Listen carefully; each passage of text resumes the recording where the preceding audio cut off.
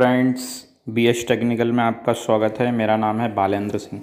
दोस्तों, आज की वीडियो में मैं आपको बताऊँगा कि मोबाइल पर आने वाले फालतू स्पैम कॉल को कैसे ब्लॉक करें।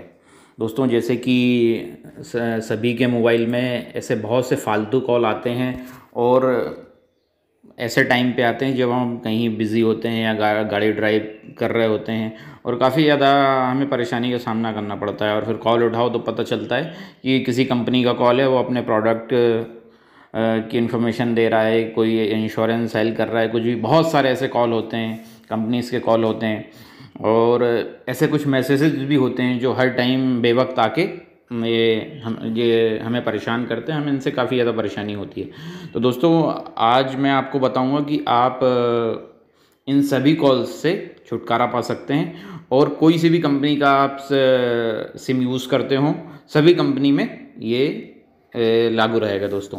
तो दोस्तों, इसके लिए सबसे पहले आपको अपने मैसेज बॉक्स में जाना है और वहाँ पे टाइप करना है स्टार्ट कैपिटल में आपको टाइप करना है दोस्तों।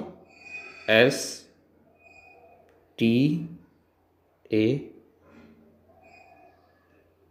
R T start space देना है।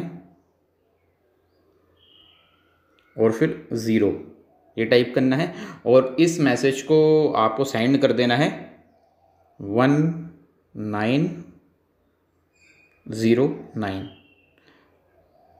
one nine zero nine पर आप इसको सेंड कर देंगे।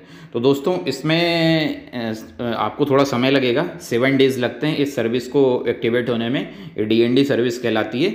आप स्टार्ट स्पेस ज़ीरो और one one nine zero nine पर आप जिस भी जिस भी कंपनी का आप सिम चलाते हैं उससे आप ये सेंड कर देंगे। तो आपके इसमें ये सर्विस एक्टिवेट होने में सेवन डेज़ लगेंगे, जिसके बाद आपके इसमें कोई भी ऐसे कॉल नहीं आएँगे। और दोस्तों, इसको एक्टिवेट करने का दूसरा तरीका ये है कि आप वन नाइन ज़ीरो नाइन पर कॉल कर सकते हैं। और उसको फॉलो करते जाइए। जैसे भी जैसे भी वहाँ पे बताया जाता है ये जो भी यहाँ पे इंस्ट्रक्शन दिए जाते हैं, आप उनसे उनको फॉलो करते जाएँगे। तो इससे भी ये सर्विस एक्टिवेट हो जाएगी। और दोस्तों, ये सर्विस सभी कंपनीज़ में, जो भी आप Airtel Idea Jio V I V S N किसी भी कंपनी का आप सिम यूज़ करते हैं, सभी में ये वर्क करेगी दोस्तों।